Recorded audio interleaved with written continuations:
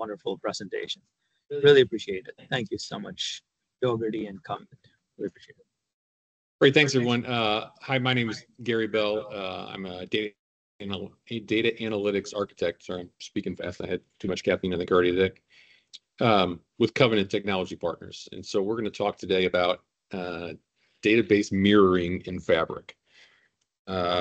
Hopefully, at this point, everyone's familiar with Uh, Microsoft Fabric. At some point, we're going to level set here uh, in a moment uh, in terms of kind of what that is. Is anyone using Fabric yet? Is anybody actually kind of implemented it to some degree in their environment? Um, yeah. That's great Great to see that we've got a couple here. Um, and you know, it's it's how about just Power BI? Anybody using Power BI? I figure we've got more Power BI users, yeah.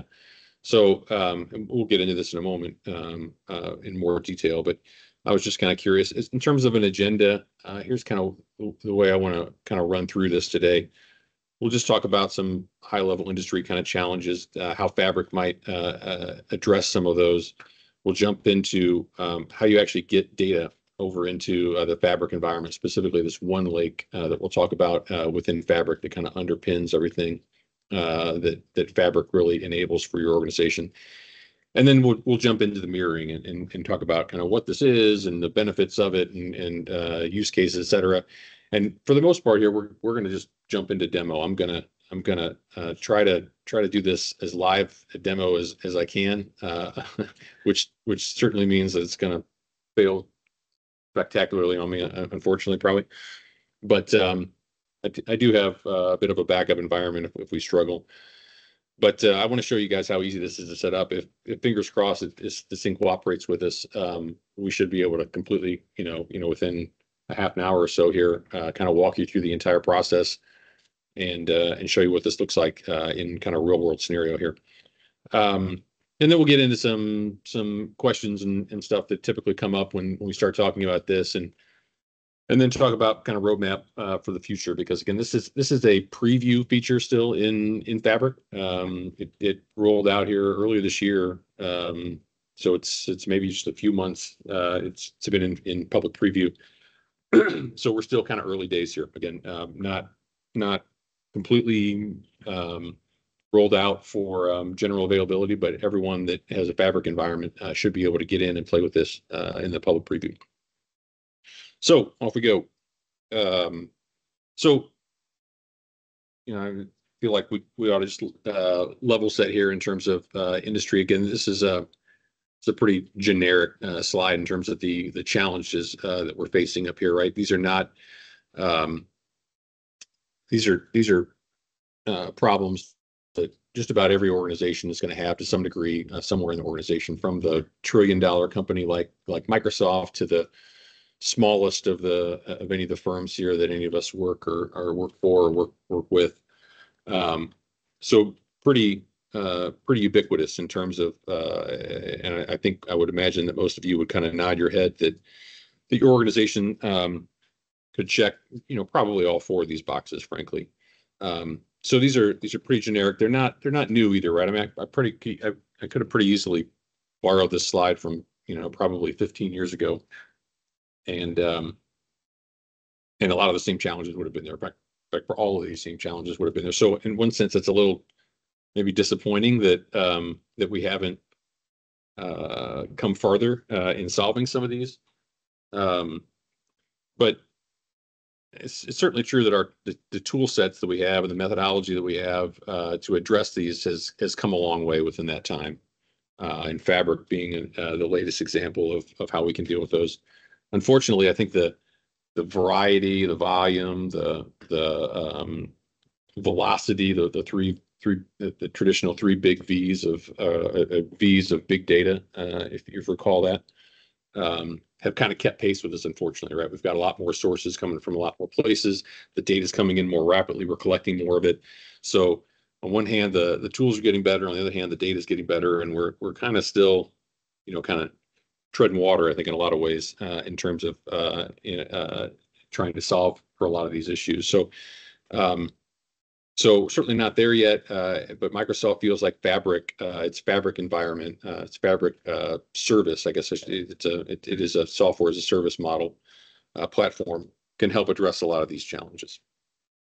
So well, it sounds like we got a couple people that are using Fabric already. For those that aren't, uh, this is kind of the the the generic slide or the the, the preeminent slide that that kind of walks you through the various um, what they call personas or workloads in in Microsoft Fabric. So Fabric, as you may know, is, is kind of an evolution of, or really an extension of the Power BI uh, service uh, that Microsoft's had out for uh, for a number of years now. And so when you think about Power BI, it's a it's a very software as a service model, right? There are no, no servers to manage. There's no hardware infrastructure, that kind of stuff. It's just you you, you load up your data and, and off you go. And so they've kind of extended that here uh, across the, a variety of these other workloads, specifically like the the ETL tools. And, and if you think of like Data Factory, uh, if anyone's used that in Azure, they've kind of rolled that in here.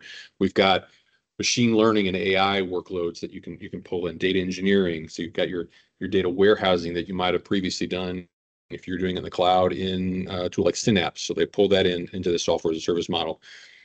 Um, as well as, of course, Power BI is still there. And we've got some other things around real-time analytics. And this that final one is data activator, which is a service around uh, data alerting, uh, in case you wanted to um, create things of that nature.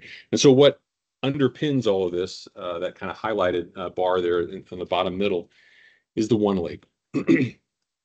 so One Lake, the um, the the the problem they're trying to solve there is is is pull all of your data together. You can you can bring in your your SQL data, uh, your unstructured data, your data from other uh, third-party systems, uh, and land it all in one lake, uh, and then have that single version of the data uh, connect to all these various systems, uh, various workloads, I should call them. Uh, and so if you think uh, about your organization, I, am sure that you all have uh, people in your organization that are doing uh, uh, any number of these things, right? You've got people that are that are doing ETL processes and move data around, and maybe they're using Informatica to do that, or maybe they're using SQL Server integration services. Whatever it is, they've got a tool set to do that. You've got uh, uh, you probably have some people doing data warehousing. Maybe they're doing that on SQL Server or some other kind of a, a, a platform, uh, Snowflake or, or Databricks, something like that, potentially even.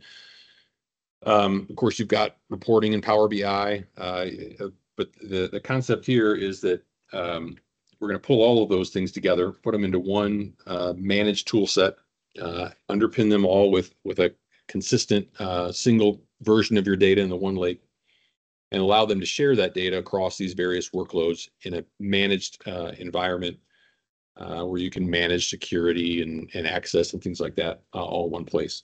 So it the the vision for this is that it greatly simplifies that uh, the complexity of that modern data environment uh, out in this cloud-based service. Um, any questions about Fabric specifically before we jump in? And again, I know people uh, have various levels of exposure here. Okay, so one lake's great, uh, and Fabric's great if you can get your data in one lake. And, and, and I mean, I should jump back here. You don't have to have your data in one lake for a lot of these uh, services to work. Power BI is a great example, right? You guys, uh, it sounds like uh, nearly all use Power BI. You can get data into Power BI from any number of places. Um, I will say though, Power BI um, what it's doing behind the scenes is essentially sucking your data into the one lake uh, via the Power BI, you know, the Power Query uh, component of Power BI. Uh, but it it kind of obfuscates that from you. But um, but in order to really light up this environment and and and and achieve the full power of it, you need data. You need that data to get into the one lake. So what does that process look like? Uh, you have some options here, and, and Data Factory would probably be the um, the workload or the persona that that is typically associated with with kind of your ETL activities where you push data into uh, the One Lake.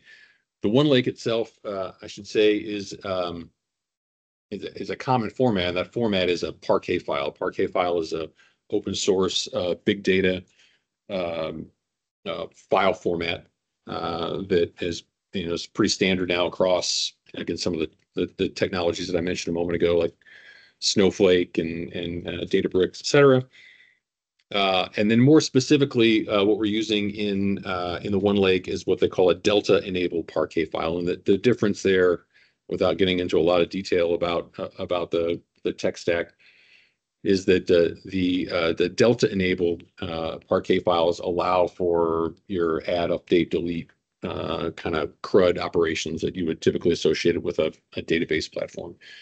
Standard Parquet file is is just additive, basically. You, you kind of just create new Parquet files and et cetera. But so Delta enabled Parquet files is the common format that exists in that uh, One Lake uh, environment. So to get data into One Lake, we need Delta enabled Parquet files. How do we create Delta enabled Parquet files? Again, we can use something like Data Factory. Uh, there's a couple options in Data Factory in in in uh, Fabric. Uh, the two there are the the Data Flow Gen 2. What this looks like, uh, again, a lot of Power BI um, familiarity uh, in the crowd. Uh, a data flow gen 2 looks like Power Query. So if you've ever written Power Query, you know, you pop up the little transform data button in, in Power BI. Uh, that's what uh, a data flow gen 2 looks like uh, in Fabric in the cloud. You open it up, the, the window. In fact, we can peek at one later if you want to see it.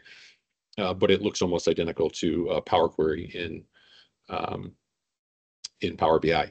The difference being you you pull in your data from a source, you apply all the steps over on the right hand side that you're used to. And then at the end of that, uh, whereas in Power BI, that just goes into a table in your Power BI semantic model.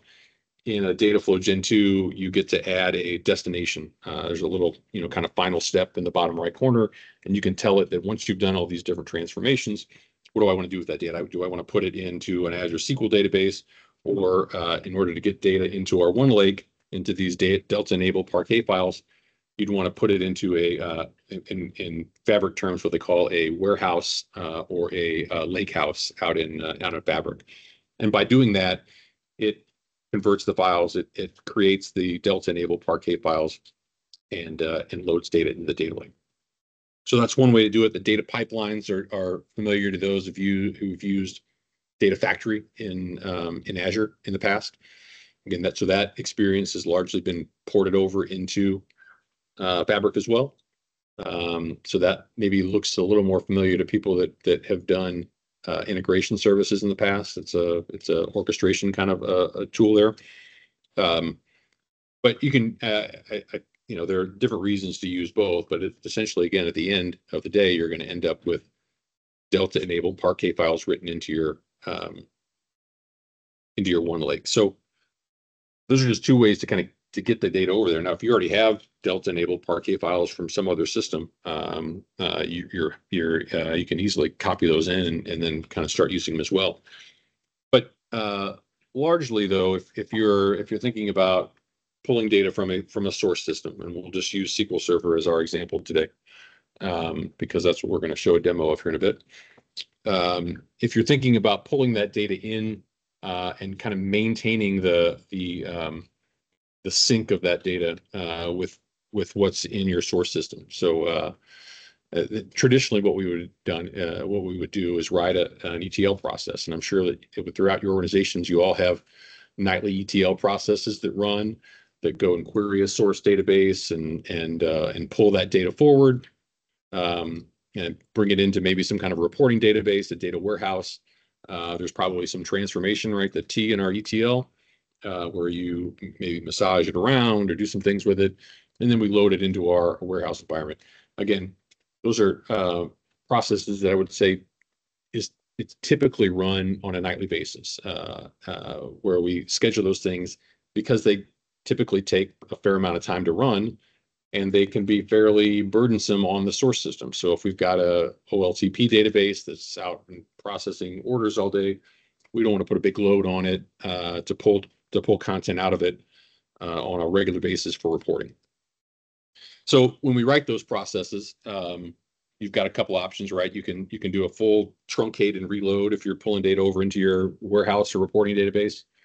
Uh, this, by the way, is the way Power BI operates natively. When you refresh your your data set in Power BI, uh, unless you've taken the time to set up something like incremental refresh, it will just clear out your, let's say, your sales table, uh, your orders table, and and um, wipe it away, and then reload it from scratch.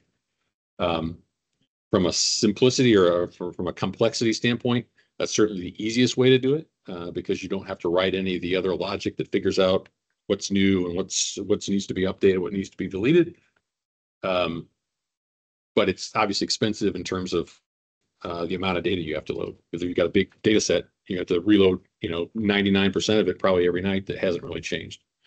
Um, but then you can, you know, if you, um, if you want to take the time to, to, um, to build the logic, you can do more of an incremental or a load changes only kind of approach where you figure out what's new, um, you know, kind of write that merge logic that figures out, uh, uh, kind of compares the records coming in to the records that are already there. And, and so that's certainly doable. and That's some, something that, um, that I know I've built plenty of, uh, examples of, uh, over the years.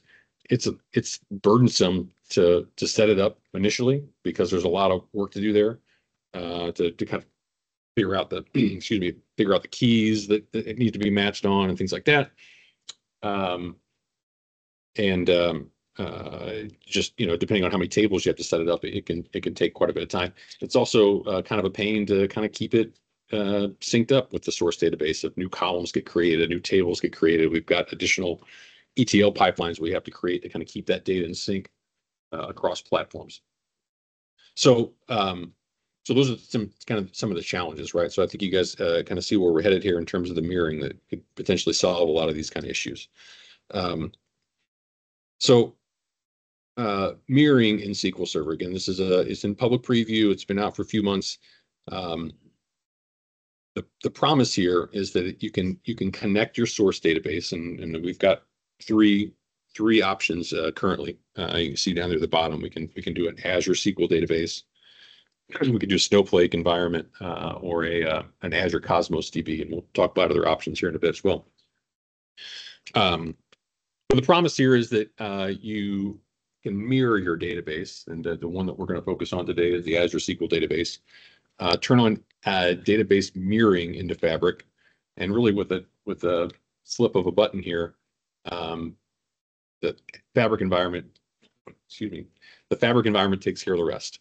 It manages all that back and forth, figuring out what's changed, what's uh, what's new, what's what's updated, and it streams those those changes. Uh, I'm going to use the term stream lightly uh, because it's more like a slightly, uh, you know, uh, delayed uh, stream.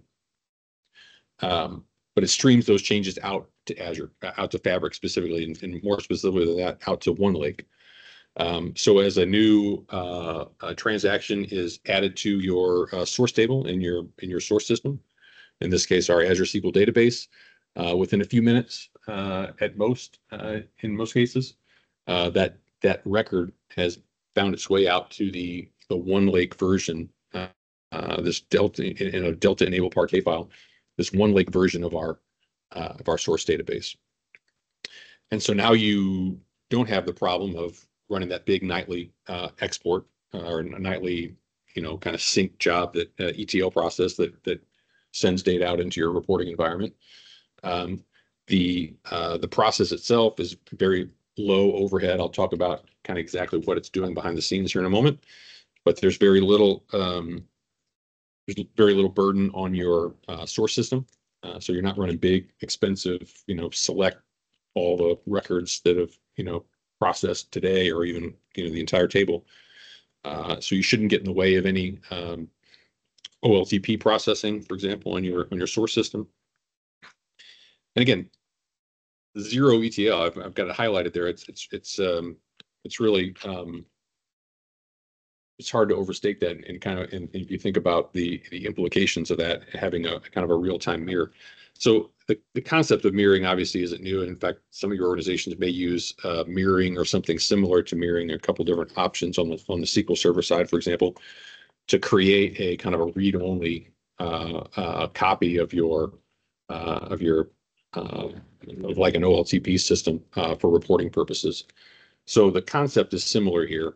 Uh, the difference being that instead of taking that over to maybe another SQL instance um, for reporting purposes on-prem, we're taking that, we're lifting it out, we're putting it out in, in the cloud, we're specifically translating it into these Delta-enabled Parquet files on the OneLake.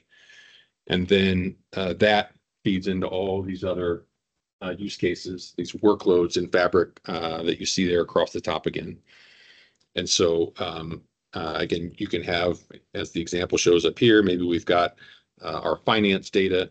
And uh, if you follow the path there, they just show the finance data being manipulated or maybe queried with with T-SQL and maybe put into or, or queried from a, a data warehouse. But you could just as easily take that same finance data and maybe do some data science stuff on it if you've got some some people that really want to uh, go to town on that and and throw some ML models at it, for example. Um, or of course, you could connect it directly to Power BI for reporting, any number of things. But again, we've got the one version of it and it, and it can feed into all of these uh, various um, various workloads. Again, the mirroring itself, uh, we're gonna we're gonna go through the demo here in a bit. Super simple to set up, and it takes care of all the rest. It's like the set it and forget it kind of button. You click it on, um, get it set up, and off it goes. Uh, it's smart enough, as we'll we'll show in our demo, is smart enough to um, respond to DDL changes. So if you've added a column uh, to one of your database uh, tables. Um, it's smart enough to pull that through on its own. Uh, if you turn on the option, it's smart enough to um, to pick up new tables altogether. So if you've added a, a, a new table altogether in your source system, um, and again, and you've enabled the option, it will automatically uh, sync itself up and, and make its way over to the one lake as, as well. Um, all right, so let's talk a little bit more in a little more depth, and I promise we're not going to do a whole lot more slides here. I want to want to get into the actual demo here in a second. Um, talk a little bit more about about the way this works under under the hood. So, is anyone familiar with uh, change data capture in SQL Server? Anybody use that at all?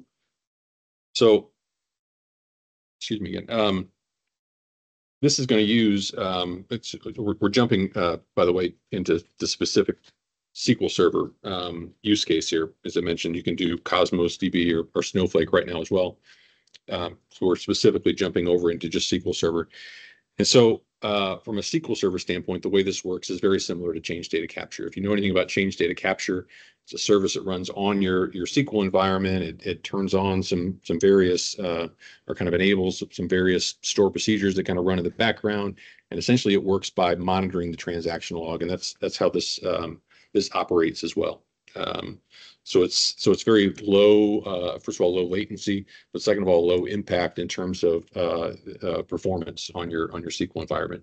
Uh, so it scans in the background the transaction logs, and that's how it figures out what's new, uh, what's added. Uh, I'm sorry, what's what's updated, what's been deleted, and it takes that that you know that log of of information, and it and it pushes it out in near real time, out into um, out into the one lake again. Uh, the uh, process is managed fully in Fabric. Um, and so it takes that, pulls it up and figures out what to do with those transactions as they come in. We'll show what that looks like in terms of monitoring that and, and what it looks like, what's going on there. Um, so, so that's how it works. Um, we'll get in, I'll, I'll get into some, some of the requirements and, and limitations here in a moment, but um, I guess I, sh- I should have pointed out as well, and it, it, shows there at the top, uh, that once you have it in, uh, in the one lake, um, you know, you have all those various workload options that are, that are available to you. But the, one of the first things it does natively is it, is it exposes a, uh, SQL endpoint. Um, so even though the data is, is stored in those Parquet files, you're gonna get a SQL engine or a, a SQL endpoint. It's gonna look like any other SQL connection that you've ever connected to. In fact, we can use any SQL enabled tools to connect to it. So you can hook up Management Studio or you can hook up Excel or any, any number of other things that, that can basically connect to and query a SQL database and write typical SQL statements against it. Um, again, it's not at that point the data is not technically in a in a SQL uh, database. The format of the underlying data is, is significantly different, et cetera, et cetera. But because of that, uh, that SQL engine that sits on top of it, um, you can treat it as such. You can treat it as a, as a normal uh, database in terms of querying it. So uh, I'm going to jump right into the demo. I've got a few of the, so I'm kind of kind of go back and forth here because I know this this process takes a few minutes to kind of to get going. So I'm going to get it started here. We're going to take a look at it, and then we'll probably jump back while we're waiting for it to to to get going. Um, we'll jump back in here and go through a few of the um, like the prereqs and, and some of the limitations, things like that while we're waiting for it. But let me go ahead and, um,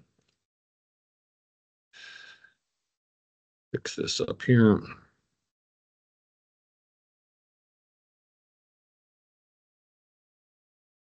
Okay, so when I say we're starting from scratch, I'm really gonna start from scratch. I'm just gonna go create a new workspace for this, and I'm just gonna call it.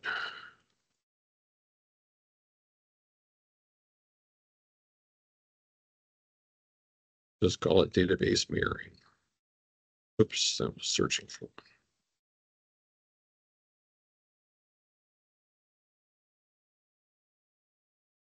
Um, in terms of requirements here, you do need uh, some kind of a fabric capacity associated with your workspace. So again, if, if you're familiar with with Power BI, uh, you might be familiar with a few of the other licensing models that are here. You've got a pro license or a premium capacity or a premium per user. If you have a premium capacity for Fabric or for for Power BI, um, you have Fabric. Uh, they've they've taken all the previous uh, premium uh, Power BI capacities and and basically converted them over. Well, it's not a straight conversion. They're they're going to force you to kind of move to a Fabric capacity sometime soon. But the feature wise, uh, if you had a P1 capacity in in in Power BI, for example, you have access to to all the Fabric features. Now, your admin may have to turn some of those things on, uh, but that's out there. Otherwise, um, and and and regardless, at some point you're going to have to convert that over to a to a fabric capacity, which are similar, but we've got some lower levels to work with there that make the the barrier to entry here a little easier. Um, but you do need to assign it. Uh, you need to have your workspace assigned to a fabric capacity. Um, I've got one here. I'm gonna I'm gonna select that uh, as part of my um, my creation process here, and let it start up our new, our new capacity. Um, so uh, there are a few prereqs I'll show you how to enable here in a moment, uh, but I want to just get this other thing started, and, and again, we'll, we'll circle back. So in order to, to set up uh, database mirroring, um, you're just going to go up here to the, to the new, and, and you're going to click on more options to, to jump down to the, all the different things in Fabric that you have access to now. Again, I don't know if anyone's enabled Fabric in their environment or played around with it. We'll go through some of these maybe a little later, but um, but you know you've got you, you down here at the very bottom. These are your standard Power BI things, reports and semantic models and things like that. But you've got all these other you know those workloads that we had or those personas we had up there in the diagram earlier. Uh, they map to these various um, various items we can do here. And the one we're specifically looking at is under the data warehouse heading, and it's this mirrored Azure SQL database. So we're going to jump right in. Um,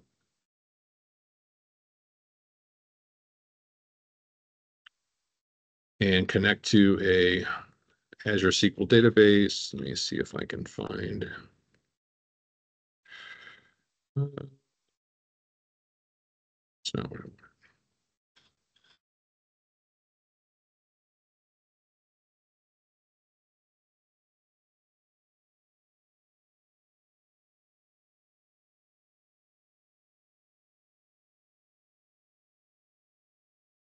Well, I think I remember it.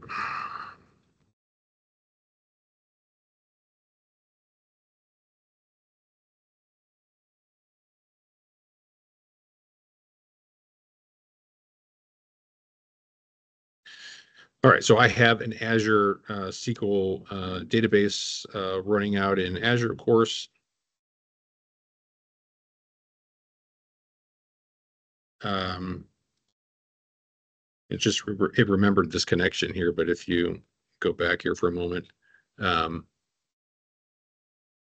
you put in the server name, uh, you put in the database, and then it, it asks you how you want to connect. Uh, you have have kind of the typical options here. I'm just going to use a, a SQL username and password, but if you've got a you know a service principal assigned or you want to use your organization account, those are both options as well. Um, but again, in my case, it just uh, I've connected to this before, so it's remembering that. So anyway, you, you uh, connect. Uh, it should go out and find our database and find the tables that are associated with it.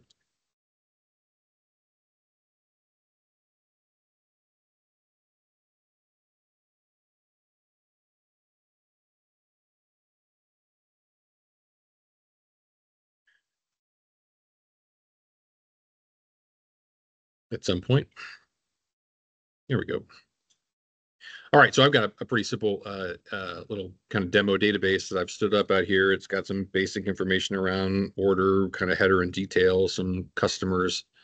Um, in fact, that's, let me do one other thing here.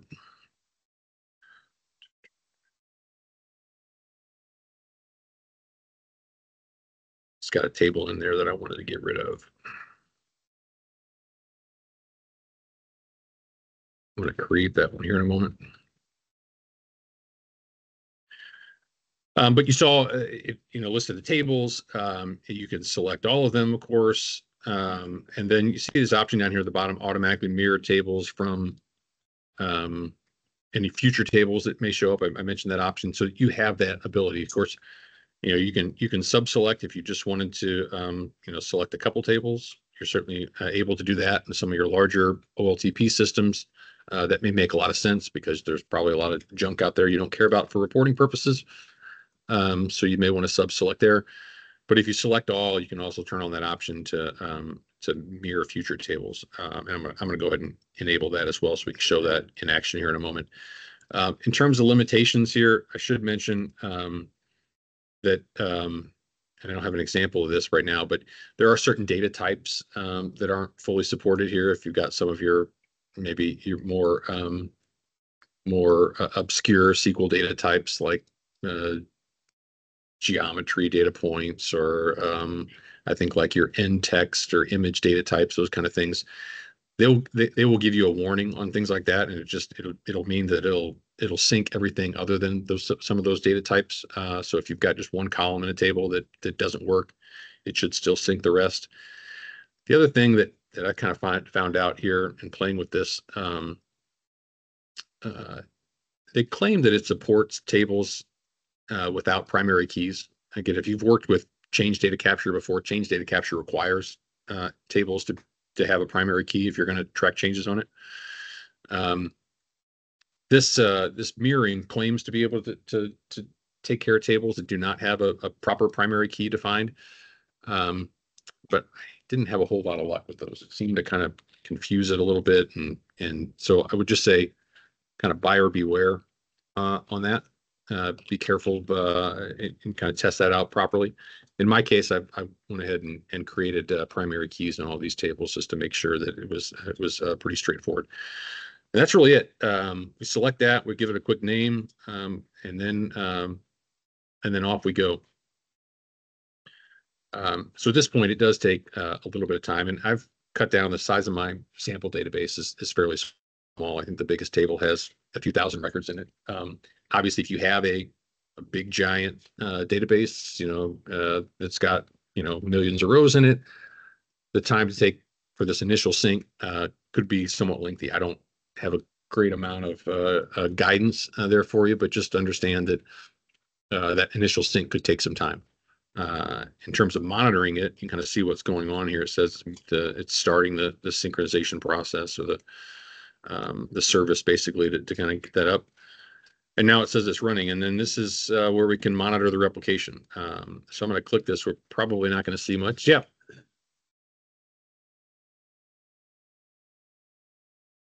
Zero. Well, almost zero. Well, I'll show you a couple of things, but yeah.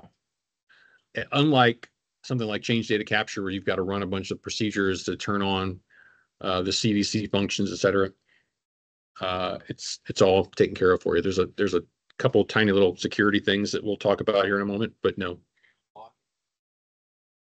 And it's all based on the transaction log, and the transaction log is logging all the time. You don't have to turn that on. So, so no, it's it's good to go.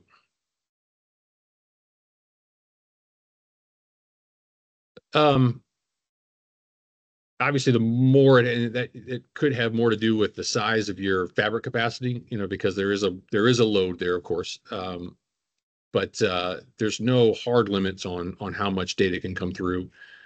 Again because it's the transaction log uh, transactions don't hit there until they've been committed. So if you've got a bunch of stuff that runs things in um, in sessions and doesn't commit until the end or you've got a big giant uh, insert or something like that that's saving up a bunch of things that could kind of overwhelm it for a time. But it's like a lot of these um, uh, synchronization uh, uh, technologies, it'll just kind of pool up and kind of so you may have a period of time where it gets pretty busy and kind of spools it out. So you, you you're just your your synchronization time may may lengthen there if you get um, if you get kind of stuck.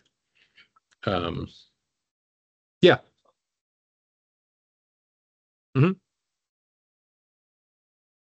The online question is about separate indexes. So do we have to build the, rebuild the indexes on the mirror database?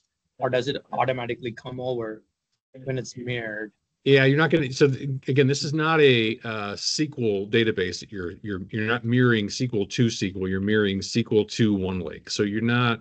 Um, you don't get the indexes, and it's just a it's a different. It's a columnar uh, structure that that gets written in these in these Parquet files, but there's no indexing uh, that's that's associated with it. So yeah, the management of even though you can query it like a regular SQL server, everything under the hood is not SQL Server from a storage standpoint. So yeah, you, you don't have the indexes and keys and all those kind of things. Yeah, Gary. Want to mention something about Delta Parquet part and and the way data is organized for performance so that indexing is not really. Yeah, I won't say, uh, I mean, there's obviously going to be situations where querying a, a Delta, you know, a Delta enabled Parquet file, you know, that structure, um, you may not get same performance that you would out of a, a, a finely tuned SQL query. But for the most part, again, it's a column, columnar, column store um, uh, format. And so for reporting kind of workloads, it, it works very well. Uh, in fact, it's the same technology that really that that Power BI is is kind of based on or built on top of. So again, familiarity with Power BI, you know how quickly Power BI can answer a lot of those questions as you're filtering or or, or querying the data in Power BI. So it's a very similar uh, kind of approach under the hood. Um, so so yes, typically for performance, uh, for reporting performance, reporting query performance, um, more your aggregate kind of stuff, um, queries against this format perform very, very well. Again, I wouldn't structure your data this way if you're, you know, if you're trying to build an application on top of it and you're writing row and row after row after row of individual data. The the delta portion of the of the Parquet file starts to kind of build up over time and it, it gets a little um, you can think of it like as a fragmented index in a lot of ways.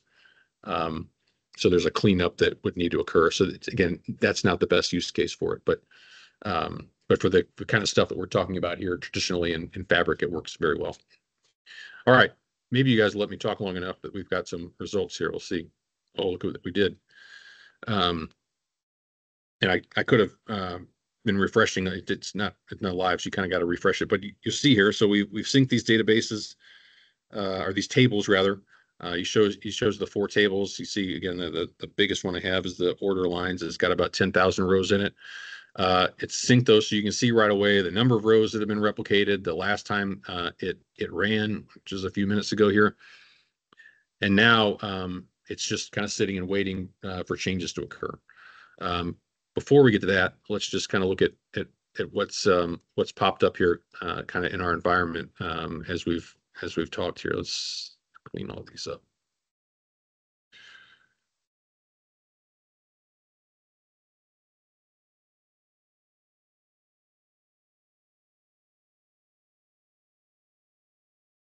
Nope, not that one. Okay, so uh, just in uh, in creating that mirrored database, you see we created the wide world importers mirrored database.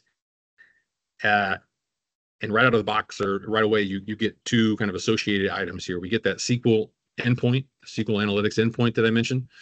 Uh, we'll look at that. And then you get a default semantic model uh, that you could immediately start building Power BI reports uh, against, and we'll look at that as well. But just to, to start here at the endpoint, um, again, this is a, just a essentially kind of a, a query tool or uh, like a SQL management studio kind of view of your data. You see we've got our schemas and our tables here. So these are the four tables that brought over. You could see the um, the data that's in them. Um, we can write SQL queries against them. So, you know, select um, from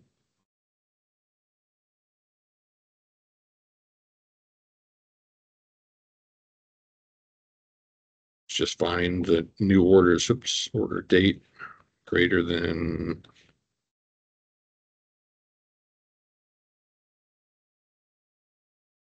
Um, and we can run these and I typed something wrong. Oop. But you can see we. Thought it was order date.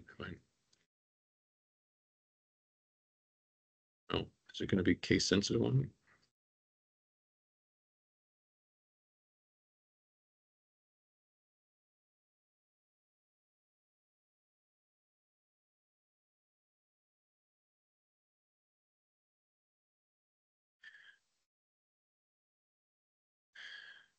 So apparently that's one idiosyncrasy of the SQL here is that it's, it's case sensitive in terms of the names, which is, uh, not typically your, um, your typical SQL, uh, uh, behavior.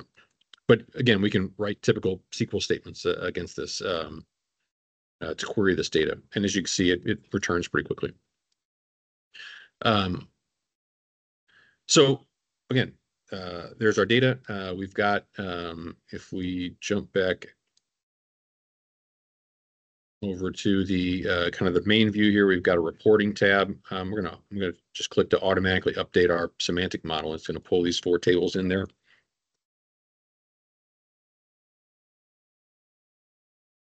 Um,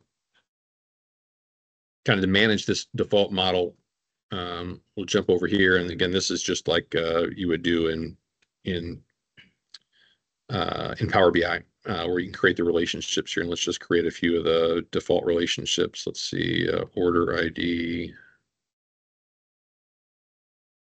to our uh, to many.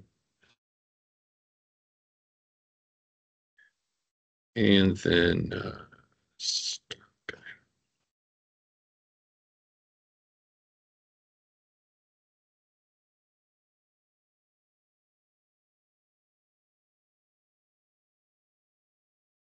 And then a customer ID.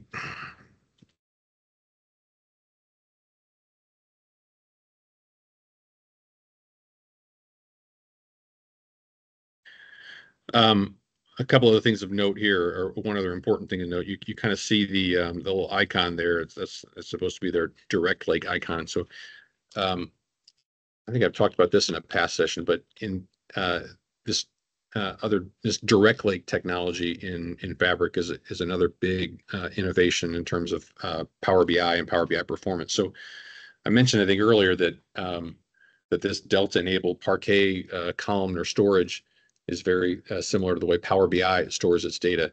It's similar enough, uh, in fact, that Power BI has has included this what they call direct lake connection technology now as one of your options when you pull data into into Power BI. So if you remember, uh, traditionally in Power BI, we've had kind of import mode where it takes data and pulls it into your Power BI semantic model. You've had a um, a um, uh, oh, I forget what, what do they call the, the, the just a direct query, direct query, I'm sorry. You've had direct query mode, which takes the, the queries that are generated by your, uh, Power BI and passes them right back to the source system. So SQL Server in, in, in our case here, it would just translate those back and pull it in real time. This direct lake, uh, is kind of like direct query mode in that, uh, it's querying the underlying source. And, and the- the difference now is that the underlying source is these Delta enabled Parquet files in our OneLake. We've just created them here in a mirrored environment. And so now what's really, and, and this is kind of the, the full, you know, the full picture that uh, kind of completes the loop here. Not only do we have our data streaming out to OneLake, um, but it drops it, uh, and puts it in that format that we need. And now we can connect, uh, Power BI directly to our OneLake and we get real-time changes as they come in. So, uh, the, the example here is some orders. So as an order is entered into your OLTP system, uh, within the matter of a couple minutes that it takes to, to stream over to OneLake and make itself available here, it is immediately available uh, in your Power BI uh, model, uh, assuming you've you've built a model using this direct lake technology without any need to process. You know, you, you've got a Power BI refresh that you're probably familiar with if you've done a lot of Power BI work. You know, typically would schedule those to run a few times a day or overnight to kind of keep that data fresh. You don't even need to do that anymore data comes uh, into your OLTP, it mirrors itself out to OneLake. And then, you know, in most cases, the next time you pull up a Power BI report or hit refresh, there it is. Yeah. Yeah, specific time delay? It's at like a fifteen second refresh that it's running in the back or. You, you- I'm gonna give you the consultant's answer, right? And it depends. Um, but, uh, I, I think the documentation says, um, like, as, as much as two to five minutes, but they're kind of covering themselves there. I think in most cases, I've seen it thirty seconds or less. Um, so it's pretty quick. Again, near real time, not instant, right? It's not, um, but, um, It's scanning the transaction log like CDC does, correct? Yeah. Mhm. But again, the, the, the overhead there is, is now instead of just CDC just writes its data into its own little tables in SQL Server. Right now, we've got to take that data and push it out to the cloud. There's some latency there and uh, it's got to transform that data into this Parquet file. So it's a little bit of latency there. So there are a few other things going, a few extra pieces that have to, have to take place. But in terms of, you know, what you have to do in order to make it available for reporting, I mean, this is, this is dead simple, right? I mean, we turn on mirroring, we build a semantic model, we build a report. And then we have fresh data. Yeah. import mode in Power BI. You, the data gets transformed and, and compressed so that it's very performant. And that direct lake is our, that the Delta Parquet uh, file format is a similar compression format. Yep. so That you're getting the same performance without having to go through an import. So because this is near real time, you can connect in direct query mode, query the data lake without having to go through any sort of import or refresh schedule or anything like that. Yeah, again, and you think about the, the time saved here, right? I mean, uh, by, by enabling the mirroring, we've, uh, eliminated that, that usually costly, expensive overnight sync process from your source system out into your reporting environment, right? That big ETL process that I think most of you will probably have running, you know, at midnight every night to, to try to keep those databases, uh, lined up. So we get rid of that. And we also, you know, typically the, the, the step after that, we pull it into some kind of a data warehouse. And then typically you've got a Power BI, um, uh, report or model rather that sits on top of that. You've got to refresh that Power BI model. Um, so we've, you know, essentially eliminated both of those big extensive, expensive kind of batch jobs that run on a nightly basis. And instead we're kind of streaming it out. As Gary said, we're, we're transforming it kind of in real time, uh, into that, into that format that Power BI can use. And, and then we can point our Power BI report straight to it. So, yeah. Since you mentioned about the, Delta. So is there, does it work very similar to how Databricks stuff work? Does it, you like write it to a storage account and then is that where do we have access to view that? Um, I don't know if there's like a CRC and JSON files that we get to see and It's a, again, it's a, it's a Parquet file, so it's a, it's a, um, it's a binary file. It's not something you can open up like a JSON file and look at and say, oh, there's my record kind of thing. It's, it's much more condensed and, and, and, uh, compressed than that. You can absolutely, uh, have access to the files. It's a, there's, I could show you here in a bit where you can go and get the, the link to the, to essentially, if, if you're familiar with like, uh, Azure Blob Storage, it's, it's contained in an Azure Blob, a, a Gen two Azure Blob Storage account um, that's sitting out there. So yeah, any other tools that can, that can read, uh, Delta enabled Parquet files, you can plug right into that. And that's essentially what all those different workloads are. They're, they're just different tool sets that can sit on top of and read, um, read those files. So let's just build a quick report, uh, on top of this data, um, and just look uh, and see what it looks like. Again, this is all, um, this is essentially, by the way, I think where everything's is headed, right? And this is Power BI desktop in, in the cloud. This is Power BI desktop in Fabric. Um, so let's just take the order date. Uh, and then we'll get the order quantity here. Let me do that.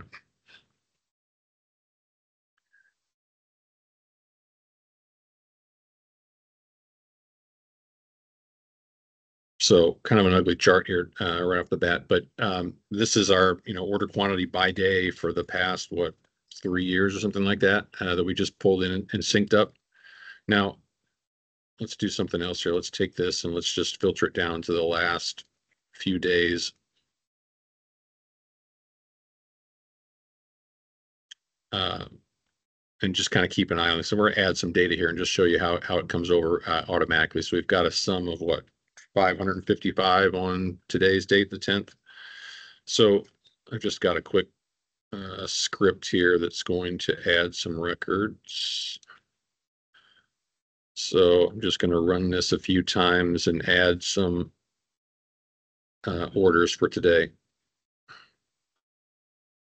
All right, so we've just added, I don't know, five or six orders with, and their associated line items. Um, so, um, let's pop back here to, let's save this for a second. Um,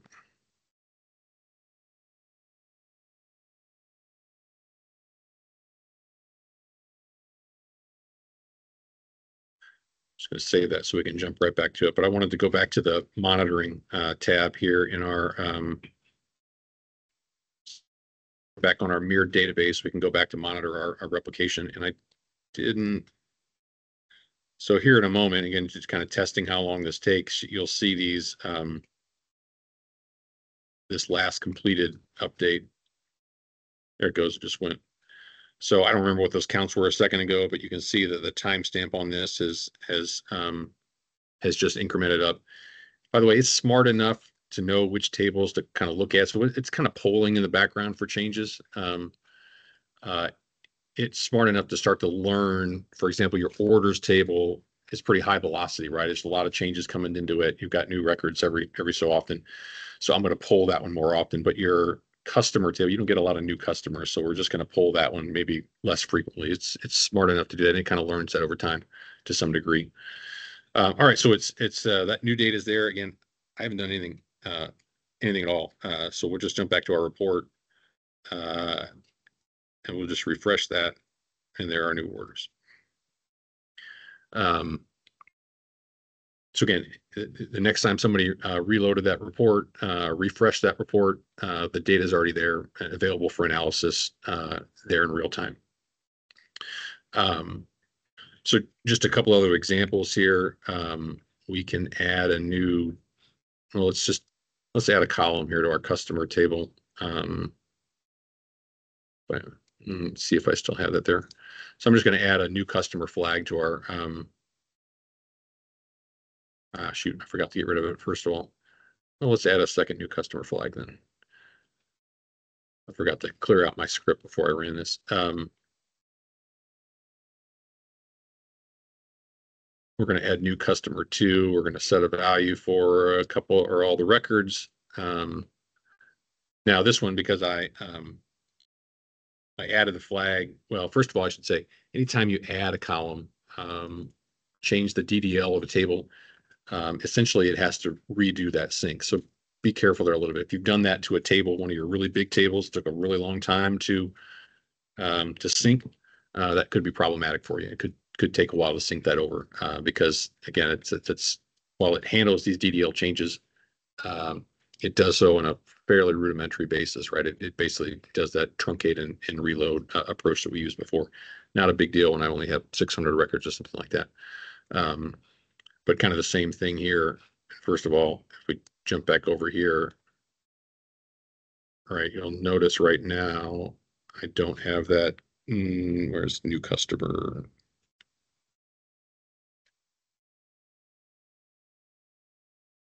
Oh, so I've got, I just created new customer two, so new customer uh, two is not there yet. Uh, but if I jump back over to that monitoring tab again, we can check to see what it's up to. Um, We're looking for, waiting for this customer one to update uh, from twelve thirty-nine to twelve fifty-eight or something like that. There it goes. And so now again, as soon as we pull this thing back up, um, what we should see here, if we refresh, is new customer two on there as well. Didn't pull it up yet.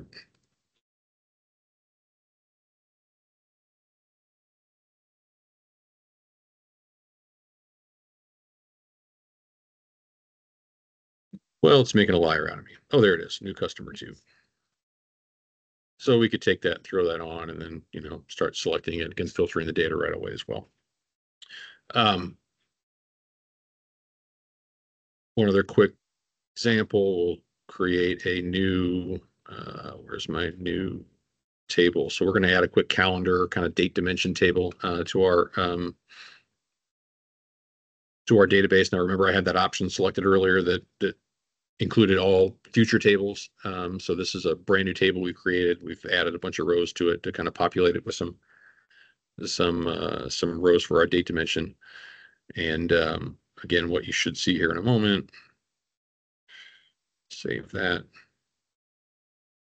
Uh, kind of the same thing, right? It, it should show up here as a new table altogether. Um, uh, real quickly while we're waiting for that, I just jump back to it because I actually thought I was going to have more time to talk about this earlier. Uh, a few prerequisites here. So obviously this is Azure SQL database, uh, and it only works right now for Azure SQL database. There are a few other variants. Uh, there's a Azure, like it doesn't work right now for Azure SQL on VM. It doesn't work on an Azure SQL managed instance.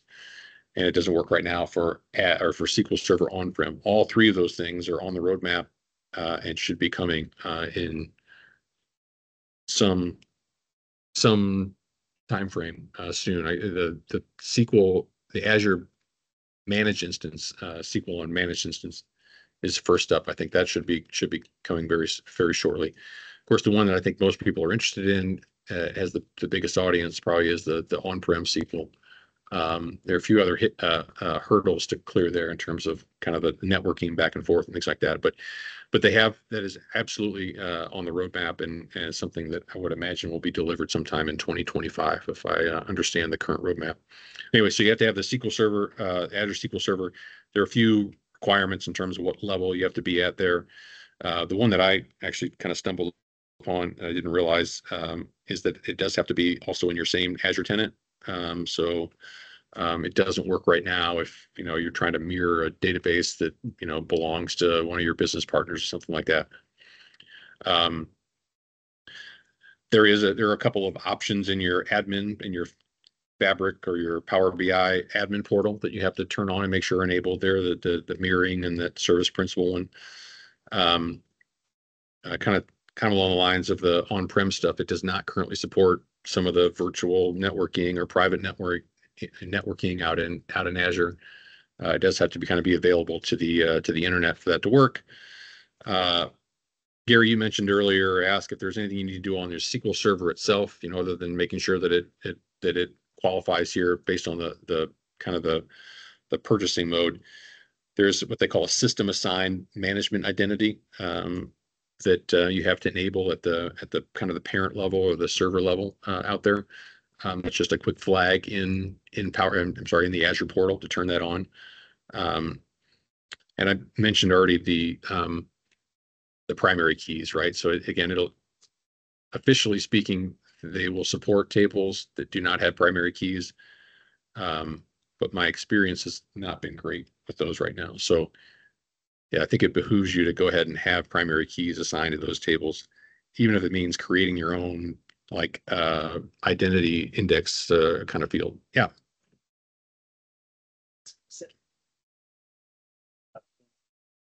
Same primary key, but like one that's spread across several, uh, several. Um, I haven't tried it with a with a, uh, a kind of a complex primary key across. Um, I think it should work. Um, the, the challenge on tables that don't have a primary key is that um, it's hard for it to keep track of what's a unique record, of course, right? And so um, uh, potentially, and again, I haven't tried this either, but potentially, if you had a unique key on the table, uh, that might be enough for it to figure that out. You know, unique key spread across three or four or five columns, if, if that's the way that the, the data is associated. Um, so it, it, I don't think it requires a, well, it doesn't require a key at all. But um, when I was playing with it uh, just last night, I was, uh, I didn't have a primary key on my, uh, my customer table, for example. And it looked like what had happened is, is it, it kind of tries to generate some kind of a unique key for me. But then when I made a change, like the, the alter table statement, I think I ran a moment ago that kind of added a new column to it.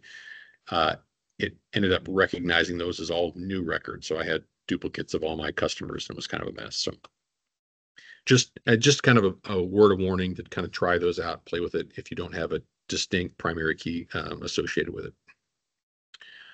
Um, And I think we already kind of talked about this, but um, those are just kind of the three things you get right away when when you um, when you create that mirrored database. Uh, just let's see if this clicked in here. There's our calendar. So our calendar uh, synced over as well. We add that as a new table, the only thing of note here is that um, when you add a new table, it doesn't automatically get pulled into your semantic model. Uh, I think you may you may if I, I kind of clicked through it quickly before, but um, you can click this automatically update semantic model and it'll pick up that new table for you. But really, that's about it. It'll pick that up. Uh, you may want to create the, you probably need to create the relationship here. In our case, we'll tie it to the order date. Uh, single, yeah.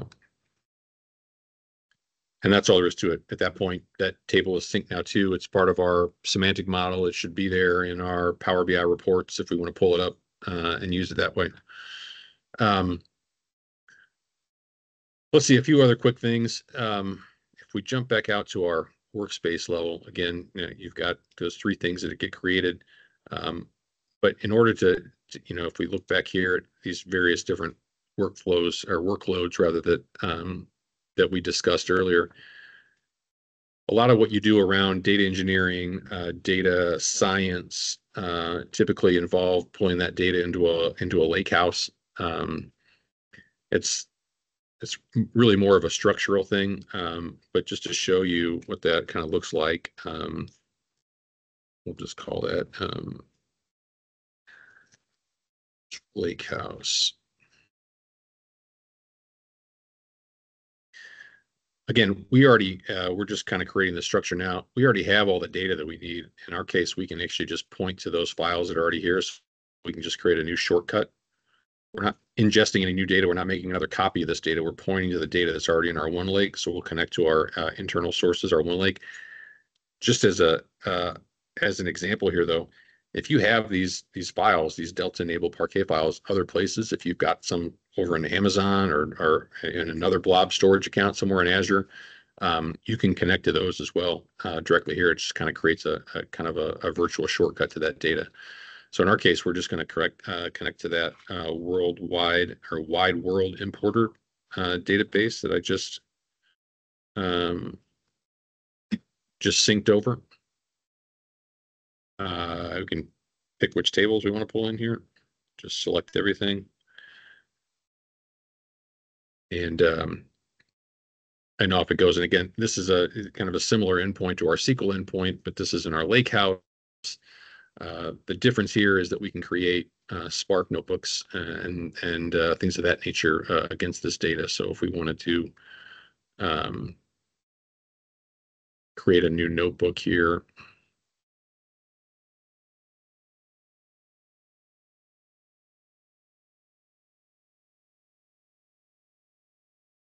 create, uh, let's just open up our order table, right? Load data. Um, so uh, I don't know if anybody is familiar with Spark at all. Again, we can write what essentially are SQL statements in Spark here to, to load into data frames, but this is a, a super simple example, but there, uh, there are a number of things you can do in a Spark notebook, primarily around um, some of your data science activities, maybe some of your data engineering, um, we can we can start to layer on some AI and ML models um, uh, here in Spark as well. Uh, but what happens here and what it's doing right now is it's behind the scenes, it's spinning up a quick Spark cluster to to uh, interrogate our data and be able to allow us to to visualize it and, and do different things with it here. But it's just one example. I mean, we can take the same data. Um, if we jump back out uh, here quickly, uh, again, with the notion of that one version of the data, again, I just connected to it uh, directly from uh, uh that that mirrored database. That those Parquet files are already out there. We created that shortcut to it in the Lakehouse. We could do something similar in these um, these real time, what they call an event house now. It's a KQL database, but you can essentially take the same approach where you you create one of those databases. You just point it to the Parquet files you already have here, and that's great for um, kind of your time series analysis, your your real streaming data. If you've got sensor data from from an IoT environment, for example, um, and you want to push that in, it allows you to write some queries that are more more associated with that. So again, that OneLake, getting that data into that environment, kind of underpins um, all of these other various workloads that you can you can layer on top of it. Um, let me just run through. I had a couple other slides here. So we kind of talked about some of these di- different experiences that, that get unlocked here. We already showed off the, the direct lake mode and what that looks like. Uh, common questions. We talked a little around some of the CDC and kind of how that's different. Um, but again, a key point being here that they both use that transaction log. As I said, there's nothing to turn on uh, in the in uh, in your Azure SQL database in order to get this to work. Um, it is notable that you can't do both at the same time because they use that that transaction log and they use a lot of the same um, uh, methods to kind of keep track of what's been what's been uh, looked at, what's been transmitted over as in terms of changes. You can't have CDC turned on and en- enable mirroring uh, on the same database. By the same token, you can't mirror this database to multiple um, Fabric uh, mirror data, uh, multiple mirrored databases in Fabric. So if you've got a different workspace and try to mirror it somewhere else, it's going to complain and says that it's already mirroring somewhere else. Um, but again, if you've mirrored it out to Fabric once, you really shouldn't have to mirror it again. I mean, uh, you've got the one copy of it that kind of um, violates that that principle of kind of that one version of your data uh, that you can use across various places. You can share it across workspaces and things like that. So that that should be what you need there. Um, and then of course cost. What are the costs associated with it? Um, nothing. Uh, this is uh, maybe I should have started with this, but there is, uh, of course, the cost associated with your fabric environment. And you can start as low as one of these, what they call these F2 fabric uh, capacities. You can get into one of those for two or three hundred dollars a month. Uh, so real low end. Um, but they do not charge you at all for for the the amount of data that's flowing back and forth. Um, there is there are they do give you free uh, uh, two well uh, kind of like so the way that they price fabric capacity or the, way they they uh, sell them. There's an f2 an f4 an f8 you know kind of on up the, the chain.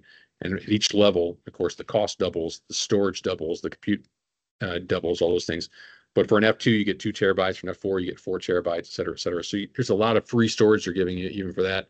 I guess if you were to exceed that they would um, they just start short charging you basically Azure storage rates, which are still really low.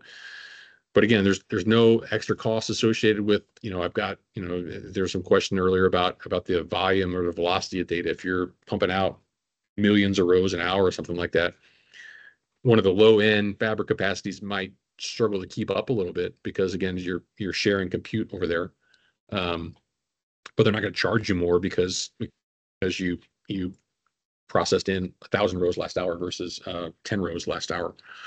Um, they really want you to get all this data out here and, and keep it synced up uh, as best you can. Um, so um, again, no uh, beyond the, the the traditional um, or just the the base fabric capacity. There's no extra cost. Yeah.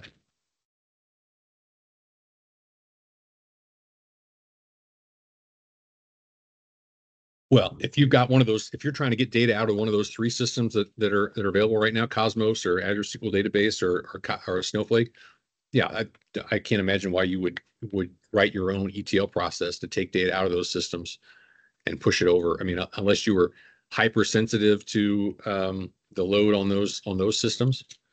I mean, we have, we talked about SQL, but Snowflake, uh, if anyone used Snowflake, Snowflake is a, is a, uh, the way they, they charge per query. So if you if you've got uh, you know not like some of the other things in Azure here in terms of the capacity, but uh, if you're writing a bunch of analytic queries against against uh, Snowflake, those add up over time. You you, you use up what, what they call your Snowflake credits, and those you know there's real dollars and cents um, impact to that. If you instead mirror that over to SQL Server, um, I suppose there's probably some tiny little cost on on the Snowflake end to get those little transactions out. But you offload all your your analytic kind of queries to um to Fabric where they uh you, they're they just kind of included in that base cost. So yeah, I can't I can't think of any scenarios where uh any other kind of scenarios where you would choose to write your own processes, your ETL process to take data out of out of one of those systems and, and push it over here. We haven't really talked about, I mean, uh one of the other things, um, I think it was on one of the slides a moment ago, cross data querying, across database querying, right? You could you could mul- you could mirror multiple databases from different places. Maybe you've got a Snowflake database and a Cosmos database, and you mirror both of them in, and now I can write queries across those two databases that join tables from one to the other. You could also, if you think about uh, what we call a, a medallion architecture, where you typically load it into your bronze environment, kind of as your staging area. This sync might just be your your staging for that that environment, and then your next step might be a one of those uh, data factory jobs that transforms it more into a traditional, let's say, star schema kind of uh, data warehouse into into fact tables and dimensions and pulls it in. But yeah, as uh, yeah, I, I can't think of a reason why you wouldn't want to use this to to take data out of one of those systems and push it over here. Um, and we talked a little bit about roadmap already, right? So additional sources. The the first one there is that Azure SQL managed instance. Um, that one's coming very soon. I think that's already in private preview. In fact, I know it's already in private preview. Uh, they're working hard on the SQL Server on-prem one because that's the one they hear the most about. They get the most questions, most demand for, and that that that's going to be a, a real game changer. I think when, when we're able to push that out because so much of our data is still in uh, in SQL uh, on-prem, and and to be able to take that data and get it that easily out into one of these environments is is going to be a big deal. SAP and Oracle again, they're they're on the on the list. I think I'm not sure. Um, what the uh, what the time frame on those are. Um, they're hoping to support more DDL operations, additional data types, those kind of things. Um, and then as I mentioned, the primary key stuff, they're trying to do a better job uh, with the with the requirements there as well. That took longer than I thought would. Any other questions?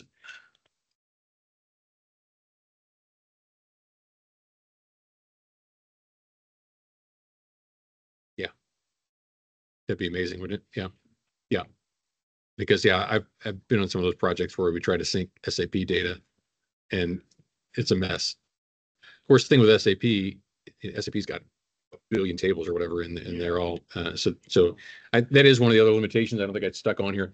Currently, it's limited to a maximum of 500 tables uh, to to mirror, and so if you have more than that, um, well, I think well there's that option again to, to sync everything. You probably just want to be more selective uh, with it. Uh, I don't know if that limitation will be lifted at some point, but that's that's where it stands today. Um,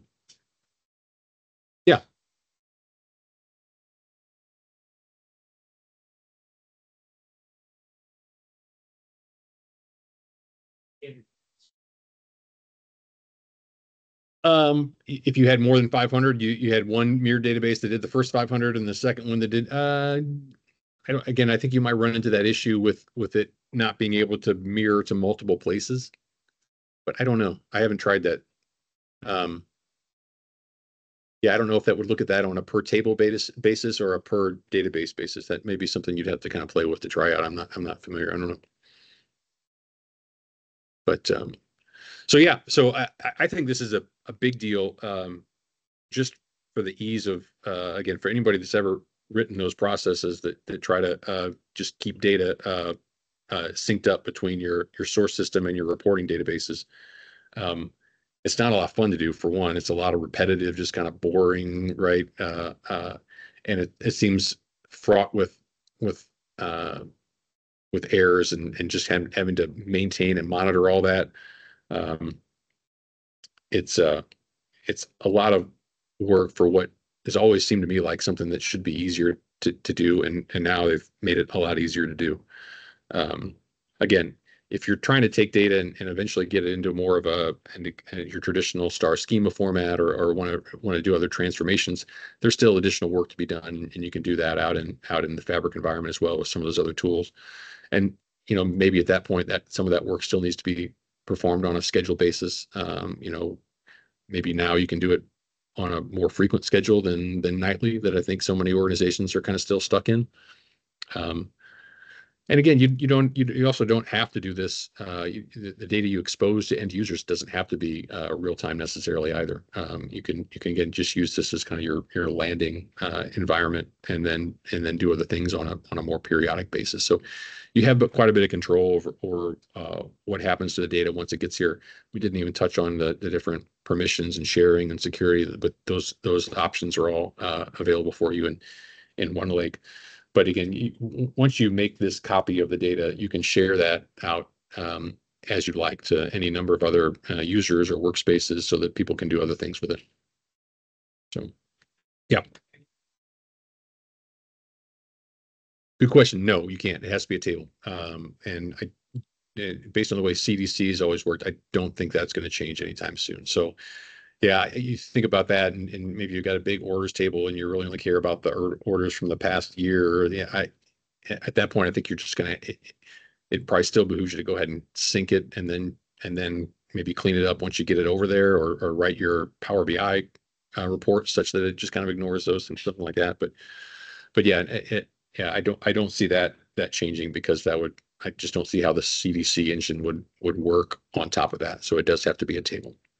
And, and specifically, it has to be a, a standard SQL table. You can't be like an external table or some of the other various kind of archive tables or a couple of different things and that SQL's um, made available that, that wouldn't qualify here as well. So. Anything else?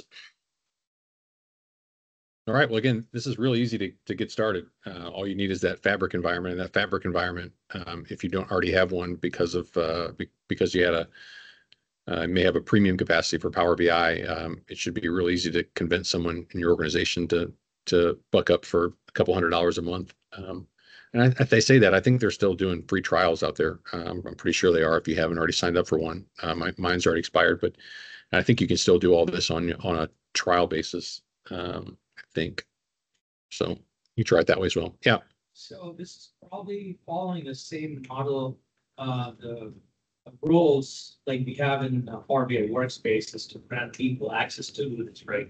Um, of course, anybody that has access to the workspace that we've created and put this in is going to have access to it, but you can share it um, with with other use. You, you don't have to share the workspace with them. You can share just the database itself or the or the the SQL endpoint.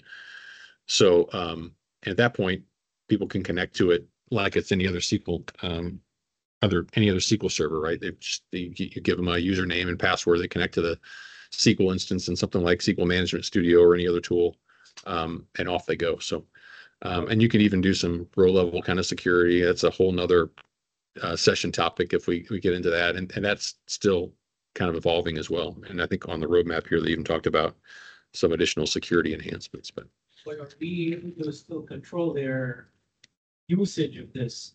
uh, Or implementation of this, because I don't want somebody to randomly pick a one DB database, right, dump it in there. Which shuts down your entire work. you, uh, one of, yeah, I- we didn't have time to actually look at it, but, um, in the admin portal, uh, where you enable this thing, um, it's this database mirroring. And so like any other, or like most other Power BI features, you have the ability to turn it on for the entire organization for specific people or groups. So, um, if you just had some of your, your, you know, report developers or, or your data, uh, people that you wanted to specify, these are the only people that can mirror databases. That's how you do it.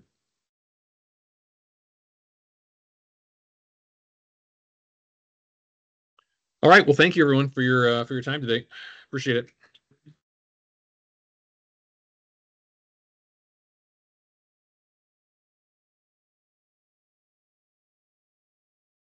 Well, I guess that, were there any questions out in the, um,